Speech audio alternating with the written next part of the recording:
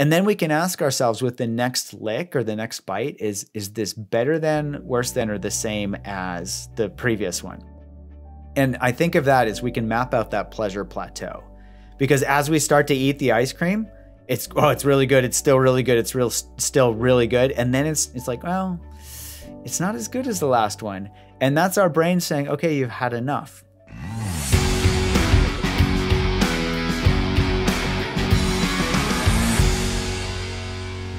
What's up, everybody, and welcome to the show today.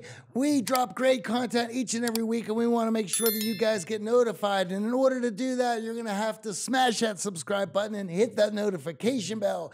And if you've gotten a lot of value out of this, make sure you give us a like and share our videos with your friends.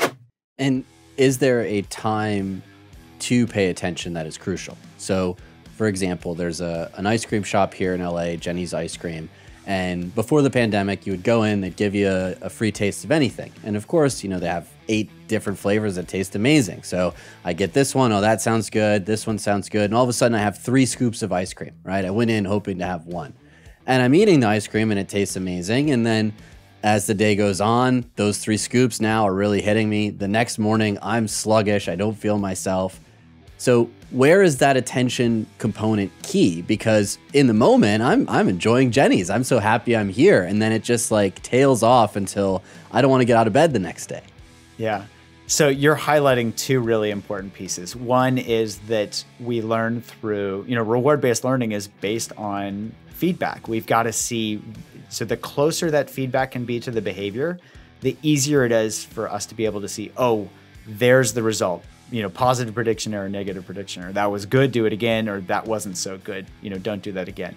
So if you can link back the sluggishness the next day to the ice cream the previous day, it, it gets much easier to remember. Oh, wait a minute, last time I had three scoops, that wasn't so good.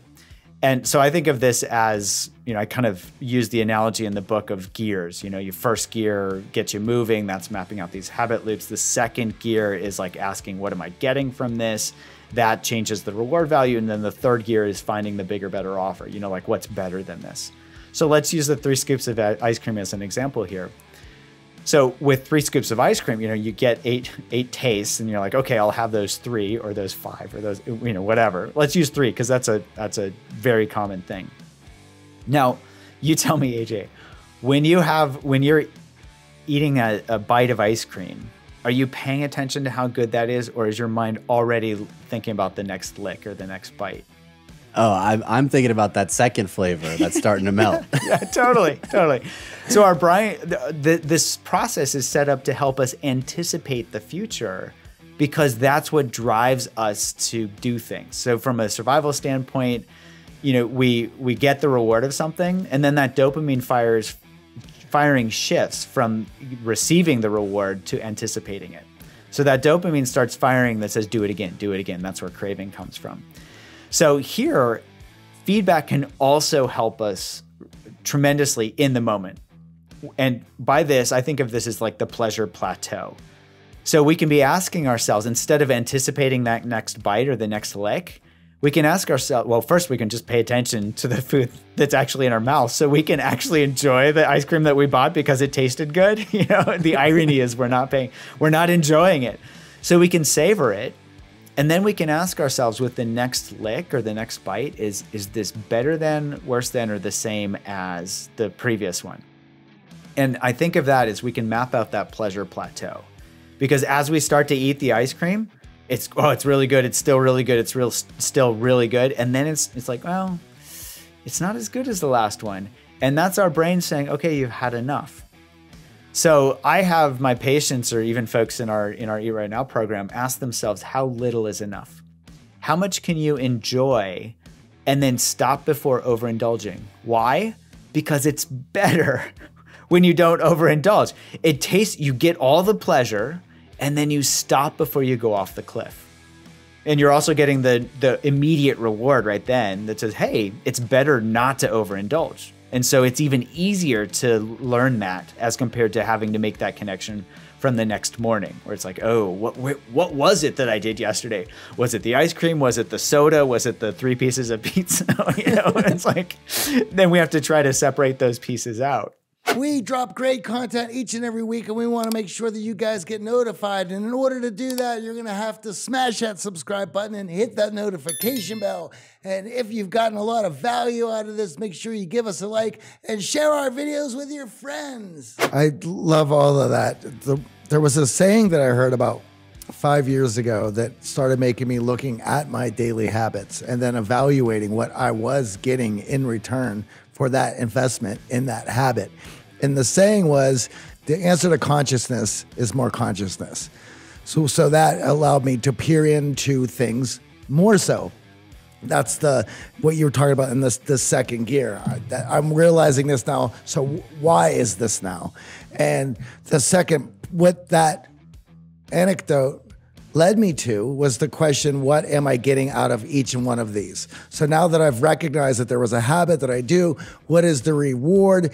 And then understanding that I can put in my own reward. So for instance, I grew up in a family where you ate everything all the time and and there was no food left on your plate and, and all these things. And as you grow older and you were living more of a world of abundance, well, eating everything became just how I ate. And eating to the point of can't eat anymore was a habit that for a lot of people from the, in that position will will develop. And the reward of wearing certain clothes was a much better feeling for me than the the feeling of being uh, satisfied in that moment or eating to I can't eat anymore. And so that was very easy. And then once I saw it in that manner, I started looking at all of my habits. So it was like, well, net, quitting Netflix and binging on shows was easy because I wasn't. There was nothing in return. It was only another letdown. What was what was the gain? That I had something in common with other people who watched The Lion King, and now we can discuss it. That's not a reward. That's fabulous. And maybe the first time watching Lion King is is good because you know the music's good, the animation's good, whatever. I think I was referring to Tiger King. I, think, oh, okay. yeah, even the first time's not good on that one. exactly. yeah, you're you've nailed it. That's what second gear or that second step is all about. What am I getting from this? Our brains know, our bodies know and they all what that does, I think of that is it opens up the space for us to find that BBO, that bigger, better offer. And that could be as simple as not getting three scoops of ice cream. It could be as simple as not, you know, eating everything on our plate and saving leftovers for later. It could be as simple as like, you know, watching one episode of a show if it's a good show, you know, and then not like trying to binge on the whole series just because they've left us with a cliffhanger. Well, something else that is important to me there that that I was realizing is if you're able to forego those habits and re- and replace them with things that enhance life, that make you more happier, that allow you to to thrive, then the feeling that you get from making those choices and how you feel on a daily basis, because now your day is filled up with things that have a, a the a higher return than the bad habits that you are living through once you reach that, there's no going back because you realize how well life can be, how exciting, how transformative, uh, how exciting to wake up every day when your your day is filled with habits that enhance every moment. Totally, that's the bigger, better offer. So. You know, if we don't eat three scoops of ice cream, the next morning we wake up feeling refreshed, you know all you know that is absolutely it. You know if we and we can even form good habits this way where it's like instead of telling ourselves that we should exercise. You know y'all have probably heard the joke we should all over ourselves right? So we, we should exercise we should eat healthy food. We instead we can just pay attention and say oh what's it like when i exercise? What's it like when i eat healthy food? What's it like when i have one scoop of ice cream and actually pay attention to every bite and savor it as compared to eating three scoops mindlessly and then already planning for my next trip then you know tomorrow to the ice cream store because I hadn't really been satisfied from today. Yeah, that's that's what it's all about. And it's amazing how the little things in life can be pretty rewarding when we pay attention.